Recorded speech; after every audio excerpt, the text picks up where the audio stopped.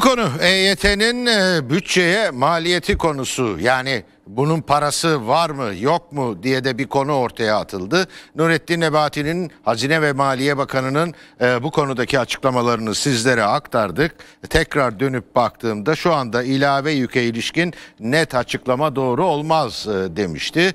E, işin bir de o boyutu var mı yok mu bu konu bugün zaten TV100 ekranlarında ayrıntılı olarak sabah saatlerinden itibaren işleniyor. İşte oradan bir bölümü getireceğiz ekranlarınıza. Sosyal güvenlik uzmanı uzmanı Özgür Erdursun TV100'de EYT'nin maliyeti sıfır dedi. Devletin kasasında 10 milyar lira para kalacak sistemi açıkladı.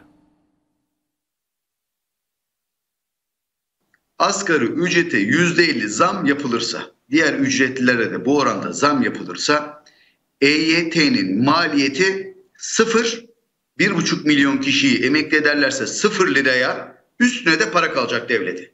Nasıl olacak o? Türkiye'de şu anda 13 milyon emekli var. 13 milyonun ortalama emekli aylığı 4600 lira. Evet. Emeklilerin aylıklarını kim ödeyecek? Devlet ödeyecek değil mi? Sosyal Güvenlik Kurumu'nun gelirleriyle emeklilerin aylıkları ödenecek. SSK Bağkur emekli sandı bir de devlet memurlarının. Biz emeklilerin ortalama aylığının şu anda 4600 lira olduğunu biliyoruz. Tamam. %17 enflasyon farkı verilirse biz ilk açıkladık sonra herkes sizin o programda açıkladıktan evet, sonra evet. ekonomistler de uyandı. Ya emekliye %17 zam yapılacak diye haberler yapmaya başladılar. Evet ilk siz söylediniz. Şimdi bununla beraber ortalama emekli aylığı 5382 liraya çıkar mı? Çıkar %17 ile.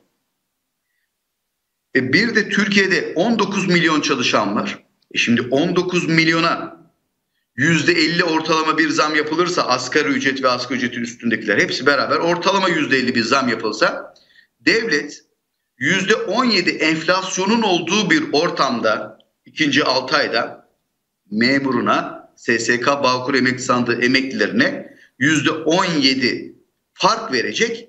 19 milyon çalışanın sigorta primlerini ve vergilerini %50 zamla alacak.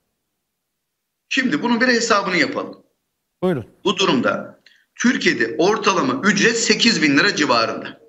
8 bin lira ücretin %50 artması sonucunda devletin alacağı sigorta primi ve vergi 1500 lira artar. 13 milyon emekliye de ortalama 4600 liradan %17 enflasyon farkı verirse ortalama ayda da 782 lira arttırır. 13 milyonda 782 782 lira arttırıyorsunuz. Evet. 19 milyondan kişi başı 1500 lira fazla para topluyorsunuz.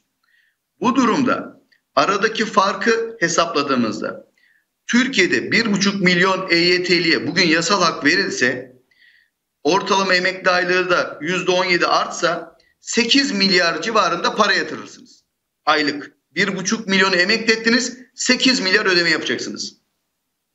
19 milyon kişiye ortalama gelire göre 1500 lira sigorta primini ve vergisini arttırırsanız 28 milyar para toplarsınız ayrıca artıştan dolayı.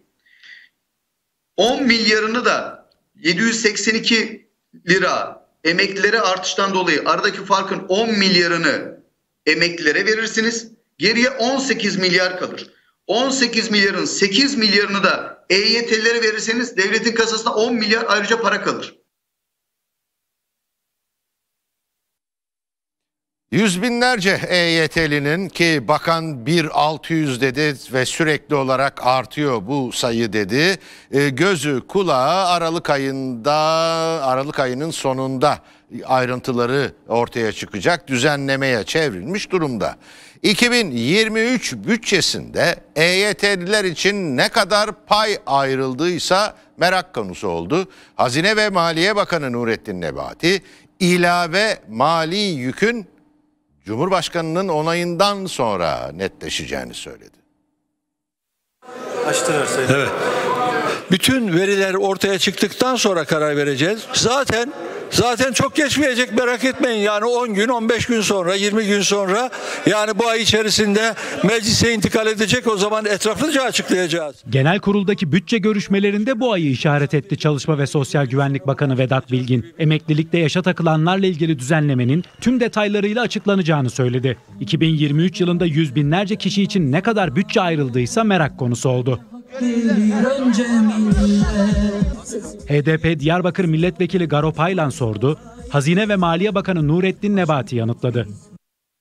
Emeklilikte yaşa takılanlarla ilgili olarak Çalışma ve Sosyal Güvenlik Bakanlığımız koordinasyonunda titiz bir çalışma yürütülmektedir.